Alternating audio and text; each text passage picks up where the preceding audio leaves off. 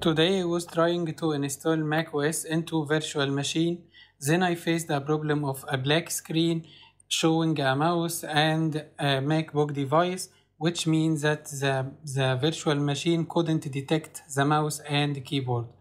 As you can see, I have started the virtual machine as normal, then the process started normally, then I, uh, you will stuck in this screen. A black screen showing a mouse and a MacBook device with a message that shows that the virtual machine can detect your keyboard without saying anything about the mouse. This problem can be simply fixed by shutting down the virtual machine and adjust the settings of it by pressing settings then ports and USB enabling USB 3. This can fix this problem and the installation will complete as normal without any problem.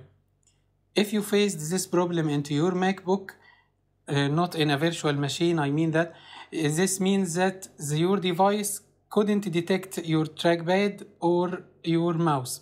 And this means you have to fix a hardware cable, a hardware cable that connects your trackpad with your uh, keyboard.